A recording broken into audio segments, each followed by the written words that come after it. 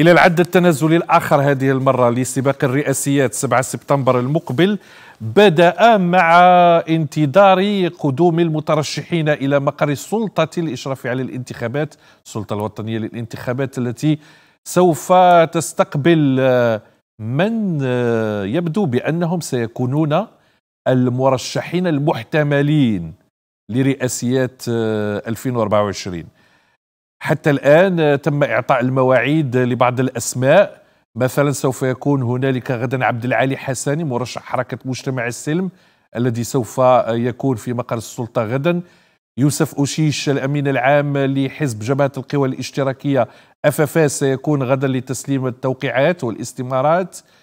سعيدة نغزة سيدة الأعمال أيضا لديها موعد غدا مع السلطة لتقديم آه، استماراتها.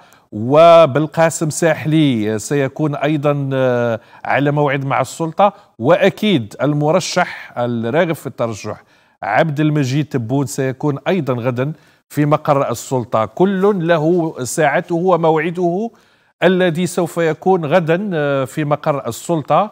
وبالتالي ف يمكن القول أن ملامح المشهد الانتخابي بدأت تتشكل.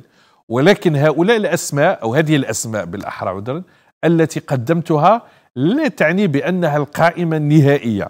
يعني هذه الأسماء أخذت موعدا غدا في مقر السلطة من أجل تقديم آه، ملفاتها ومن أجل تقديم الاستمارات وقامت بنوع من الحملة الانتخابية المسبقة آه، في كثير من الملتقيات والندوات والولايات من أجل آه، جمع التوقيعات.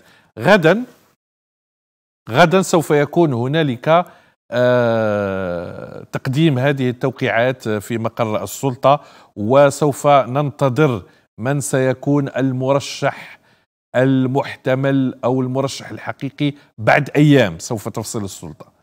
يعني بعد تقديم الاستمارات وعدها ومطابقتها قانونيا.